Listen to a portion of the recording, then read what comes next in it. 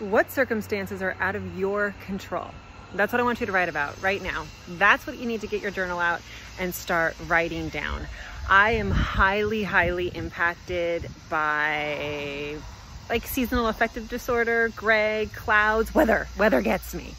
And as I was out walking this morning and spending our last couple of days here in Mexico under cloud cover and marine layer and just feeling kind of blue and sad about it, I was thinking, wow, this is such a circumstance that is completely out of my control that I'm letting impact my mood and the way that I feel. And I need to give this over to God. I know way easier said than done. And there's a lot of circumstances that are out of your control, whether it be health, whether it be income, whether it be your job, relationships. Maybe it's dependent on somebody else. Maybe there's somebody else in your life. And I have this in my life as well, who you love on, love on, love on, and you can't you can't feel it or you can't get that back and it's not about you it is a circumstance that is out of your control and one of the first steps in making a breakthrough in that situation is writing it out.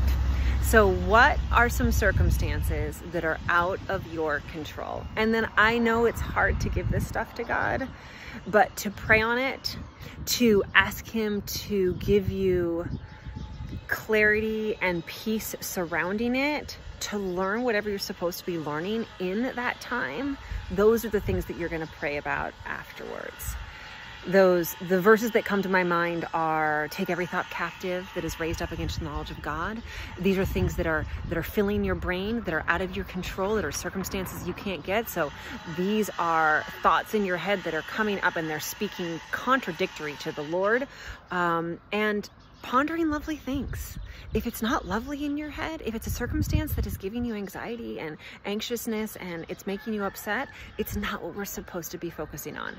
Still praying that I can get a little sunshine and feel a little happier, but I know that the Lord is teaching me lessons and coping mechanisms even in the gray days.